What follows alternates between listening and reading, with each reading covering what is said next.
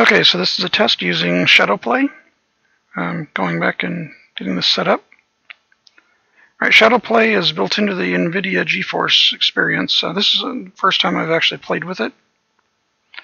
Um, I've decided I wanted to see if I could use this to actually do non-NVIDIA supported games um, in Shadowplay. So here's how you do that. Um, since I'm using Shadowplay to make this recording, I can't make any changes to the system during it or it'll shut off the recording. Anyway, so what you would do is go into the settings of Shadowplay. If you want to do non NVIDIA games on Shadowplay and still record them using Shadowplay, for streaming, you want to check this Allow Desktop Capture. And it'll capture your entire desktop, and then when you launch a game full, full screen, it'll go into that as well. It'll still continue to capture that. Okay, so let's minimize that again. Minimize this so we're still recording on Shadowplay. Okay, so here I have my Steam library up. And as you can see, I got a couple of games in here. Um, now, there are several games on here that are not part of Experience, the uh, NVIDIA Experience. So if we look at the Games tab of the Experience, you see that it has, like, I have Dishonored, Dota, Far Cry 3, Hawken, you know, Team Fortress, Titanfall, War Thunder, and Warframe that are supported. But I have several other games over here that are not supported. One of them I really like is Space Engineers.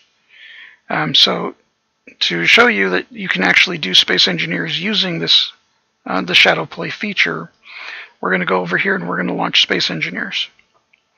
And when you launch a game from Steam, you just have to make sure Shadow Play is running before you actually launch Steam, or launch the game from Steam.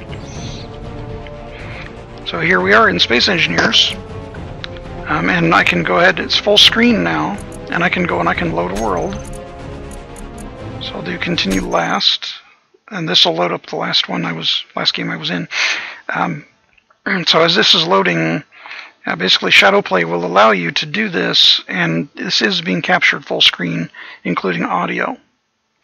Uh, the one feature that this Shadowplay doesn't have over a separate software package or accelerator card for capture is the ability to capture your audio track, your voice track, and game sound separately. So as you can hear as we loaded, the game sound is now playing and it's it's gotten quite a bit louder, so I'm talking over that. But I can't separate those out for later editing, and that's the downside. I can go into the options and I can reduce the game sound in-game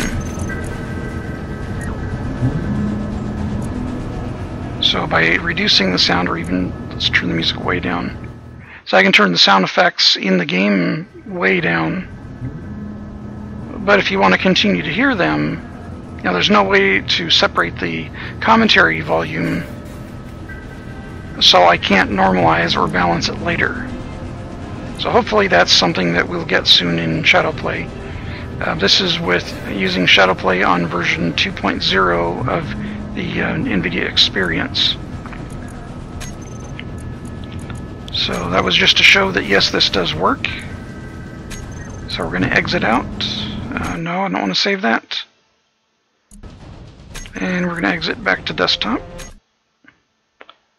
So that's a, a, quick sample of what you can, of how you can use Shadowplay to use uh, or to run to record games that you aren't actually uh, aren't supported in NVIDIA uh, in during in the NVIDIA experience uh, for GeForce Experience. So I hope this helps uh, for somebody who wants to figure out how to stream non-NVIDIA supported games um, that run on you know in Steam or any other game as far as that goes, or you can record literally anything, any desktop uh, apps, because as you can see, my desktop is being shown here. Um, so I hope this helps somebody, and uh, in the future, I'll bring try to do more videos as more shadow play features are added in.